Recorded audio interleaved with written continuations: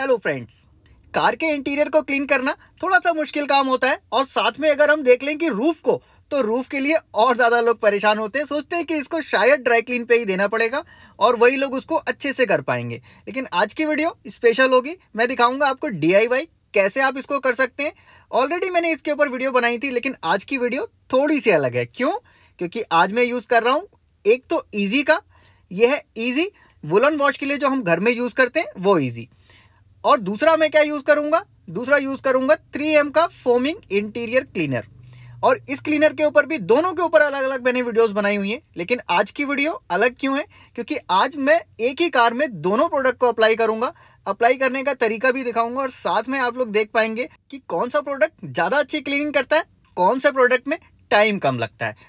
कोशिश करूँगा कि कम से कम शॉर्ट टाइम में आपको दिखाऊँ दोनों चीज़ों का रिज़ल्ट और सबसे पहले ईजी को यूज़ करते हैं। ईजी यूज़ करने के लिए देखिए, मैंने लिया है एक पाउच ये पाँच रुपये वाला, और एक मैंने साथ में स्पंज का एक टुकड़ा लिया है।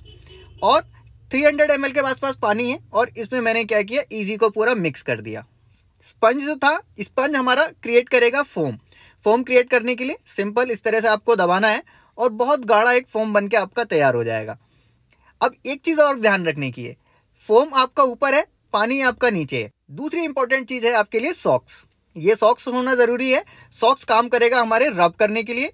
और माइक्रोफाइबर टावल मैंने यहाँ पे यूज़ किया सॉफ्ट पन का माइक्रोफाइबर टावल माइक्रोफाइबर टावल से आपके जो रिज़ल्ट है, वो बहुत अच्छे रिज़ल्ट आते हैं। और हमारी जो रूफ है, उसके ऊपर लिंट्स वगैरह भी बनते नहीं है। अब चलिए स्टार्ट करते हैं। सबसे पहले फोम क्या करना होगा? ऊपर से हमें लेना है।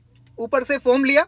और ये फोम सबसे पहले मैं लगाऊँगा उन एरिया पे जहाँ पे कि ज़्यादा डर्ट लगी है, ज़्यादा दाग धब्बे निशान लगे हुए फिर जब हम सेकेंड टाइम पूरी रूफ को करेंगे तो फिर इसके ऊपर से वो कवर हो जाएगा और ये बराबर मैच हो जाएगा। रब कर सकते हैं इसको, कोई इशू नहीं है, लेकिन हाँ रब भी आपको कैसे करना है? बिल्कुल एक हिसाब से रब करना है, ऐसा नहीं कि आपने कपड़े की तरह इसको धो दिया। बिल्कुल वैसा नहीं करना है। जब आप डब्बे से फोम ले रहे हैं तो ऊपर का हिस्सा जो है फोम है, नीचे पानी है। तो वो नीचे वाले पानी पे आपको डिप नहीं करना है, सिर्फ़ फोम फोम लेनी है। ज़्यादा अगर पानी आएगा उसमें तो आपकी जो छत है, वो स्वेल होने लगेगी, भारी होने लगेगी। तो वो वाला काम नहीं करना है और अब फाइनली हमको क्या करना है? माइक्रोफाइबर टावल लेना है और इससे वाइप करना है। माइक्रोफाइबर टावल मैंने इसीलिए कहा आपको क्योंकि माइक्रोफाइबर टावल आप यूज़ करेंगे तो इसके ऊपर लिंट्स वगैरह आने के चांस नहीं रहते। अब हमको दोबारा ये फोम बनाना है और अच्छे से बना के सिर्फ़ ऊपर से फोम लेना है। देखिए इतना फोम गाढ़ा बन गया और मैंने लिया है अपने सॉक्स में और इसको ऐसे लगा दिया मैंने यहाँ। रब करूँगा ताकि अच्छे से स्प्रेड हो जाए और अच्छे से क्लीन कर पाए और उसके बाद माइक्रोफाइबर टावल लेके मुझे इसको क्लीन कर देना है। एक एक पार्ट में लेके क्लीन कर रहा हूँ। ये ऐसा नहीं कि पूरे पार्ट पे मैंने एक साथ लगा दिया। पूरे हिस्से पे लगा दूँगा तो होगा क्या? कि वो पूरा ड्राई होने लगेगा। तो मुझे एक हिस्सा लेना है, वहाँ लगाना है वाइप करना है, फिर दूसरी जगह लगाना है। और अगर आपको लगता है कि प्लास्टिक पार्ट गंदे तो उसको भी आप इससे क्लीन कर सकते हैं।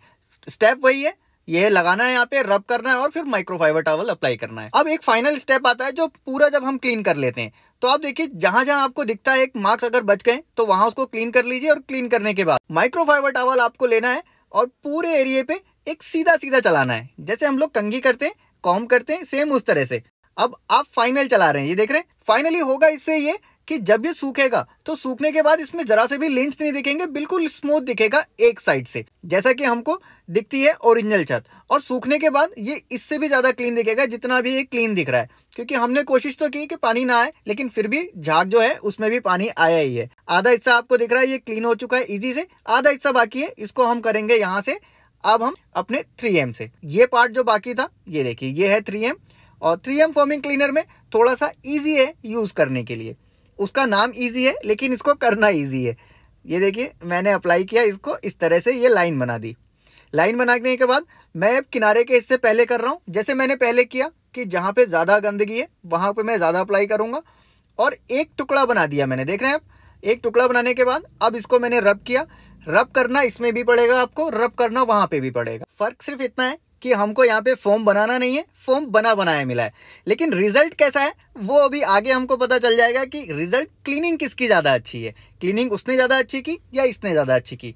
और रही बात ईजी की साइड इफ़ेक्ट की तो ईजी का कोई साइड इफ़ेक्ट ऐसा कुछ है नहीं। मैं हमेशा से यूज़ करता आ रहा हूँ और थ्री का भी ऐसा कुछ इफ़ेक्ट नहीं है। लेकिन हाँ थ्री का इफ़ेक्ट ये है, ये जो फोम वाले क्लीनर होते हैं इसको अप्लाई करते समय आपको मास्क ज़रूर लगाना है। मैंने देखिए मास्क अप्लाई किया हुआ है और मास्क लगाएँगे तभी इसको यूज़ करना और दरवाजे खोल के करना है। जितने भी डोर हैं, ऐसा नहीं कि आपने डोर बंद कर रखे हैं, तब आप इसको यूज़ कर रहे हैं। डोर खोल दीजिए और तब इसको आप अप्लाई कीजिए।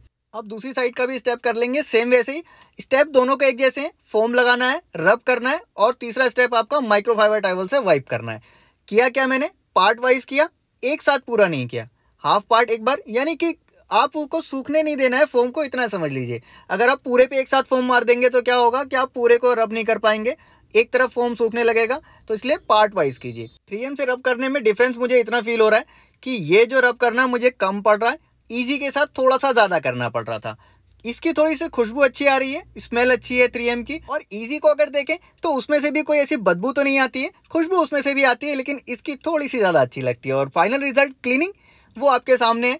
क्लीनिंग आगे का हिस्सा थ्री एम और पीछे का हिस्सा ईजी कोई बहुत ज़्यादा बड़ा डिफरेंस नहीं है, लेकिन प्राइस में बहुत बड़ा डिफरेंस है। फ़िलहाल ये वीडियो अगर अच्छी लगी तो लाइक ज़रूर करके जाइएगा। मिलूँगा नेक्स्ट वीडियो में ऐसी किसी इंटरेस्टिंग टॉपिक के साथ। Thanks for watching